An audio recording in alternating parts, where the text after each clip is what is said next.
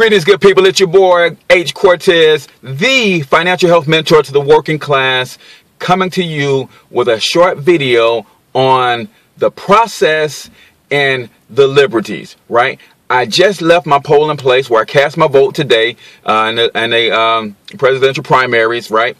Um, and I want to encourage everyone who's eligible to vote, get out there and participate in the process. But what does the process do in particular? The process allows us to either gain liberties or maintain liberties, right?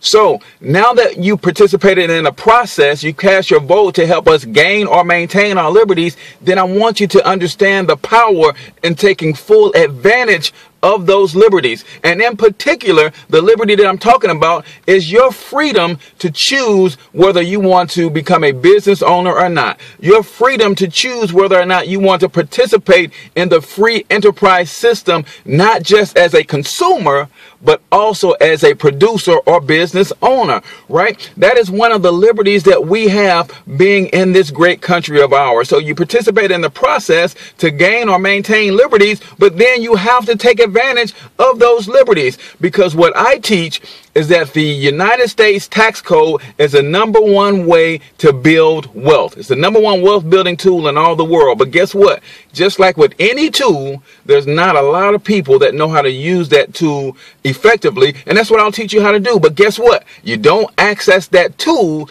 unless you have a business of your own. And why not take advantage of that? We're in this great country. Why not take advantage of the liberties to participate in the free enterprise system? Will help you minimize your taxes. And we all know that if you minimize your taxes and bring money back into your household, you can use that money to help eliminate your debt. We are the most indebted country in the world, right? But you can use uh, the money that you get from minimizing your taxes to alleviate some of that debt and then ultimately free up the cash that you need to start investing in real estate, in gold, silver, uh, stocks, other paper assets, whatever you want to invest in, you have to have money to do that. Well, guess what? By participating in the free enterprise system, after you've participated in the process, right, which got us that liberty or helps to maintain that liberty for us, you're in a better position to build wealth using the United States tax code. So I just wanted to share this quick video with you guys. Hopefully you get out and vote, participate in the process, but more so, I want you to take advantage of the liberties that we're voting to gain or maintain,